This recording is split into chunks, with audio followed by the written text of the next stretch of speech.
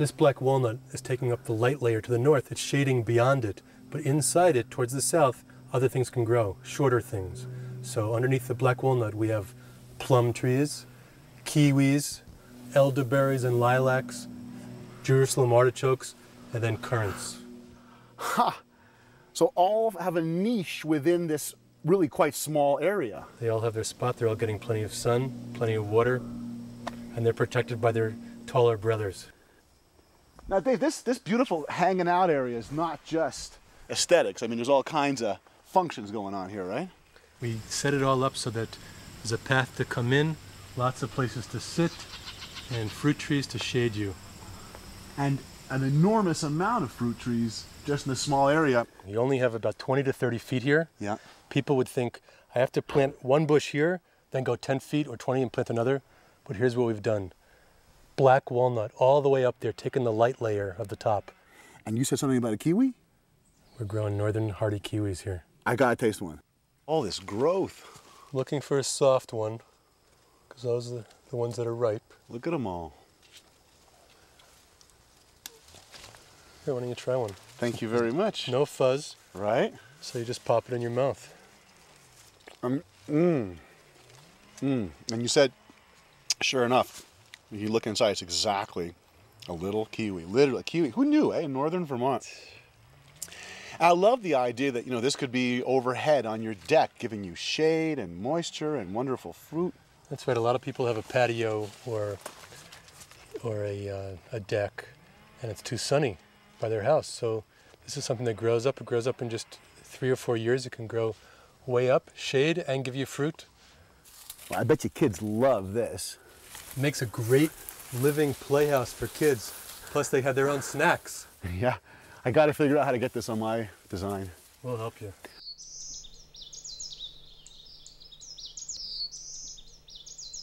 I love we're walking along this garden path, and it's again the, the design elements, fall color, you know, fruit hanging at uh, at arm's reach, amazing.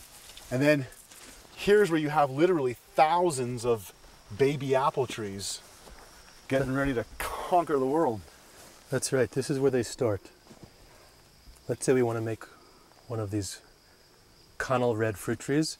We take a cutting from it on snowshoes in the spring, graft it onto a seedling. That little piece right there, that is the graft. Dip it in beeswax. That's grown this much so far, and hopefully someday it'll be a whole big tree fruiting. For a hundreds of years later, Hundreds of years, and your friends, and when you're old, and your children and your grandchildren can all be eating from that fruit. And I gotta tip my hat off to you, Dave, because I know that these are not just random seedlings. This is this man's life work, 27 years of choosing the cream of the crop and carefully propagating these exact species that are guaranteed to grow and be here in 100, 200, 300 years. Who knows? So, people at home, we ask ourselves, what can I do? Well, you can begin by planting productive landscapes on your own property while encouraging your neighbors to do the same. Realize that your actions on a very small scale are the foundation for complex global solutions. When's the best time for someone to plant a, a tree? The best time to plant a tree is when you're thinking about it. What's that quote you had? Uh, on our catalog a couple of years ago, we said the best time to plant a tree was 20 years ago. The second best time is today. Awesome. Permaculture systems rely on knowing where, when, and how to plant productive perennial species, the ones that keep coming back every spring.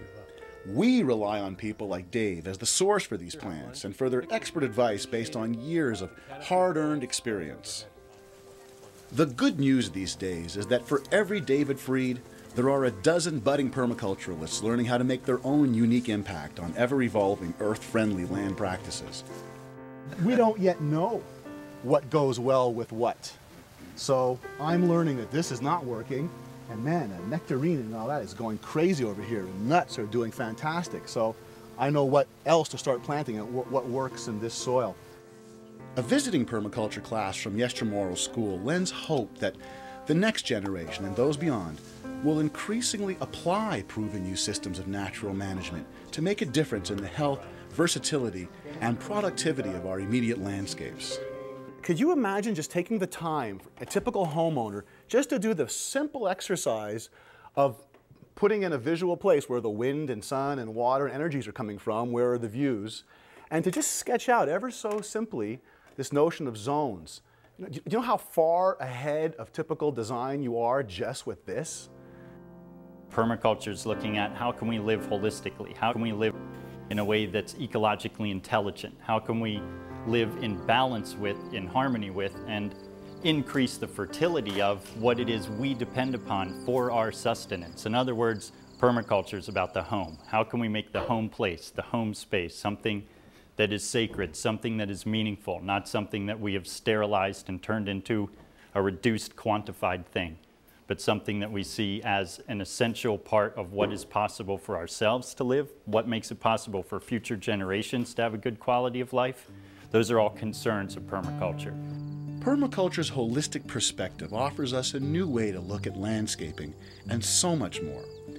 It is but one of a growing number of sustainable living models available to those of us who long to make a difference. I think the world is looking forward to a future, a nice future.